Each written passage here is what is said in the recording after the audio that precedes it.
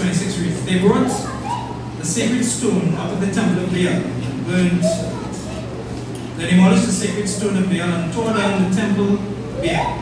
And people have used, and people have used it for a latrine to this day. So Jehu destroyed Baal worship in Israel. However, he did not turn away from the sins of Jeroboam, the son of Nebat, which he had caused Israel to commit, worship the golden calves of Bethel Dan. Verse 30. The Lord said to Jehu, Because you have done well in accomplishing what is right in my eyes, and have done to the house of Baal all I had in mind to do, your descendants will sit on the throne of Israel to the fourth generation. Yet Jehu was not careful to keep the law of the Lord, God of Israel, all his heart. He did not turn away from the sins of Jeroboam, which he had caused Israel to commit. Listen to me. In those days, the Lord began to reduce the size of Israel. Hazael overpowered the Israelites throughout their territory. What do we invite our pastor? It's Brian to bring this morning's message. Zeal of Jehu, the arraignment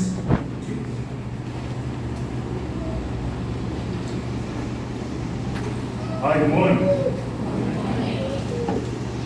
It's awesome to be in God's house, and it's awesome to be in His presence, and to uh, be with you, to be with His saints, and to give Him glory uh, for all the goodness that He's uh, done to us, and all the great things that He has done Of course. You know, yesterday I came into the uh, church building, and, and I was very, very happy and surprised to see these posters.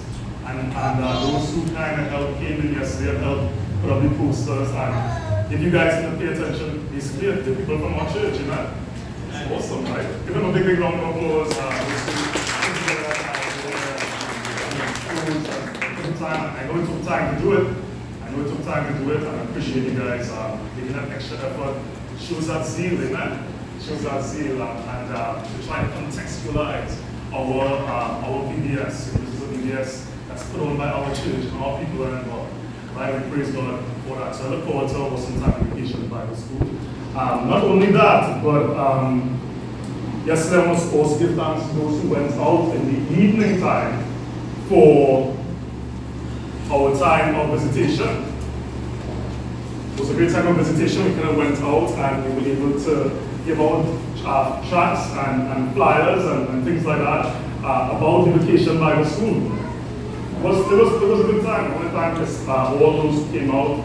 Uh, the two ladies who I, who I went out with, uh, Sister and um, Sister Sandra and Sister Zena. I mean, those are, those are some serious ladies. Bad, they're bad. Because there are some areas I don't go into. There's some areas in St. James, I don't carry people into. I said I don't go into. I will walk anywhere in St. James because but I go to scout all the area first to see their gangsters and stuff. So I don't have to carry people into those areas. Right? So yesterday we went out, these ladies were like, yeah, we're going up there. I'm like, um, I don't go in there. I go in there by myself, I don't go in there with people, all right? And they're like, no, no, people go in, we went in, we were making a joke that the time that the angels of are with us. And, then, and we went up, went up all up in the back of the hill. I was like, oh,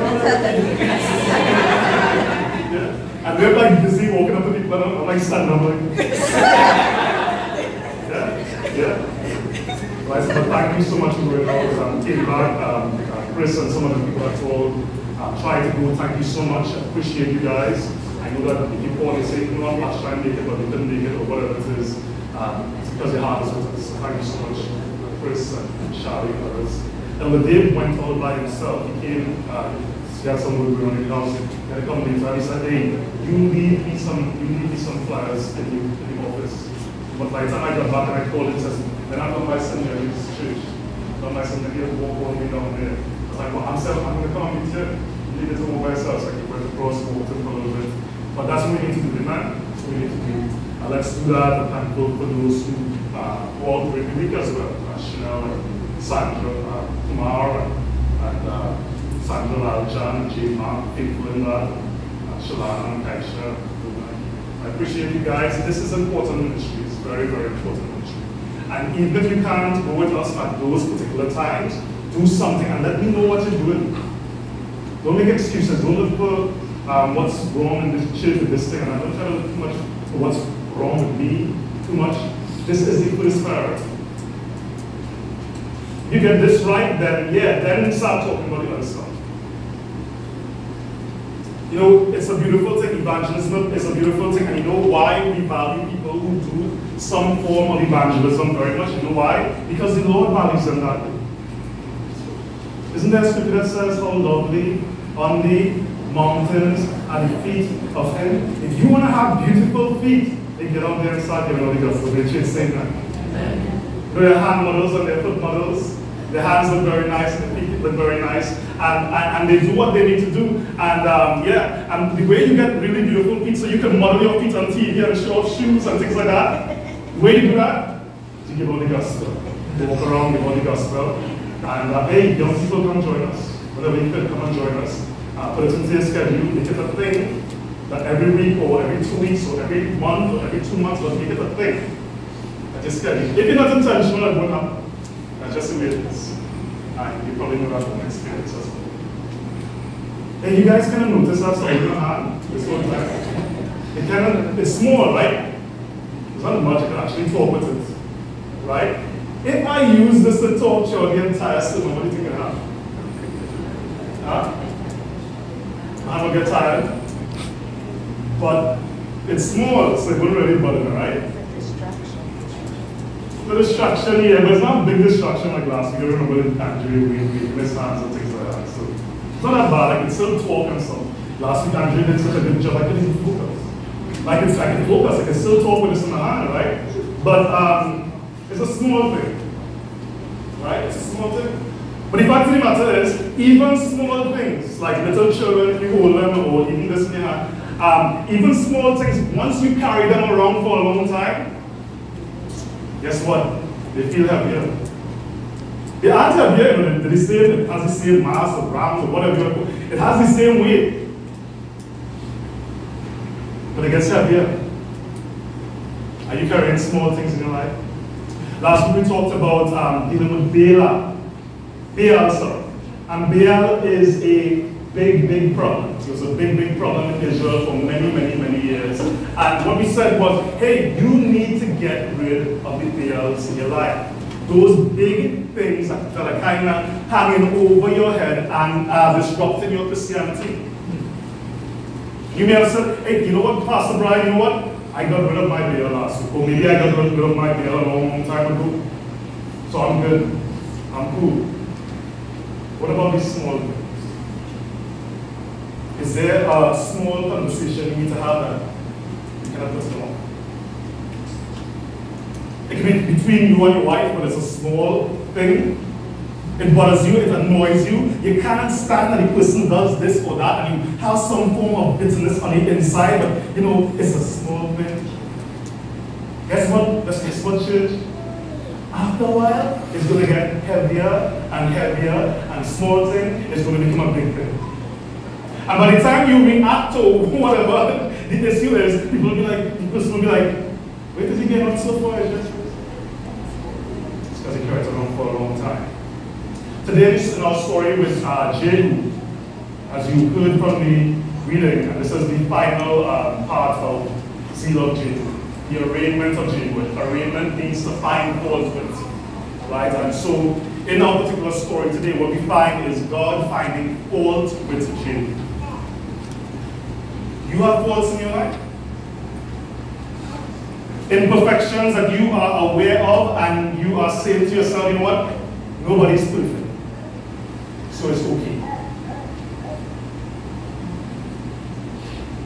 There's one thing for people to find fault with you, but people have different opinions all over right? Because some like what you're doing, somebody else won't like it. I just say, how many of you up here now? How many of you are really Right? So it's Christianity and it is still divided, right? Just, that's just human beings, come on. That's just who we are. Instagram is a Facebook. That's all we are, that's all over the place, right? But if God finds fault with you, that's a problem. If you're aware of something in your life that God has a problem with, that His word clearly says, I have a problem with this, and you're not willing to address it, eventually God will arraign you. Eventually He'll find fault with you and say, hey, You need to deal with this. This morning is that type of morning. This is the zeal of Jehu. You remember Jehu, let's pray. Lord, we thank you so much for your love and for your mercy. Thank you, God, for your saints who are here in this place of worship today. I was about to say in this temple, but they are the temple of who serve. You're here with them. What we say. It's like for those who don't know Jesus as Lord and Savior. Today might be the day they might believe on Jesus. Why not? Why can't we ask for that? Uh, that's something that we want to happen. So we pray for them that when they hear these words, even though they may not get all of it, we pray that they'll, be, they'll believe on Jesus. We pray for saints as well that they will continue to believe on Jesus and that they will look forward to addressing small faults. Faults that their kids see in them and their grandkids see in them and their wives and, and friends and, and, whatever it is. And they won't just say, you know what, nobody's perfect, I just believe the way it is. But you know I'm not talking about opinions on you know, drive a black car or white car or whatever it is. You know what I'm talking about. I'm talking about spiritual things. I'm talking about uh, sinful habits and offenses and little things that Christians don't hold as much like fear and doubt, gossip. Things you don't put up there, you don't get rid of those things. Lord, for you is a big deal. Help us, to go to get rid of these things. And anything that we are aware of, let us deal with that. Let us have those conversations. We ask these things in Christ's name. All say. So let's just get a run.